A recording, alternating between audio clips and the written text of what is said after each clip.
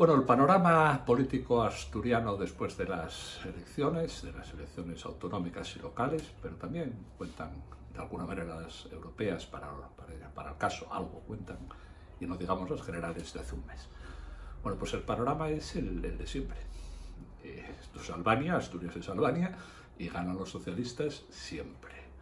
Y si no ganan, pues eh, hacen imposible, con boicot indirectos, con submarinos, con lo que sea, con eh, un gobierno de derechas, los dos que hubo, bueno, duró unos meses y el otro pues nada, duró, pero duró inexistente, ¿no? Es imposible. En, Asturias es imposible que no gobierne la izquierda y como corresponde a un territorio, un espacio, una comunidad, una región atrasada, un país, un estado, una nación atrasada, le ocurre lo mismo.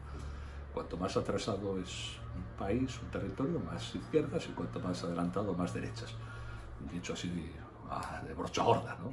Porque ¿qué es izquierda y derecha? En fin, habría que entrar en muchos detalles, pero fundamentalmente es así.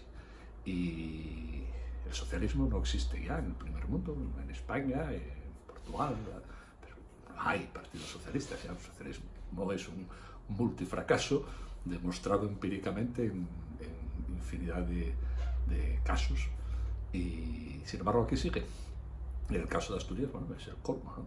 Digamos, 40 años de socialismo, 40 años cuesta abajo pedaleando, esto es una calamidad absoluta, desaparecieron las industrias, el campo arruinado, eh, no nace nadie, eh, récord de suicidios, y lo tenemos, tenemos todas las desgracias y seguimos votando al PSOE, seguimos votando a los socialistas. Eh, un poco es, es, una cuestión dialéctica, ¿no?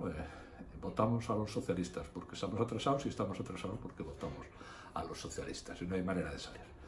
Se salva, como a veces, como casi siempre, la isla de Oviedo, se salva relativamente porque el PP es un partido más socialista que el PP en Asturias, Gabino y compañera, más del PSOE que Felipe González. Pero bueno, se salva Oviedo por los pelos y bueno, el, cerco de Oviedo que lleva toda la vida, pues seguirá, quizás se recrudezca, porque estos socialistas que vienen ahora son bastante radicales, y pues que se, recrudezca con el área metropolitana, aunque no creo, porque eso es un camero electoral que no, no van a instrumentar y a ponerlo en una partida, es imposible. ¿no?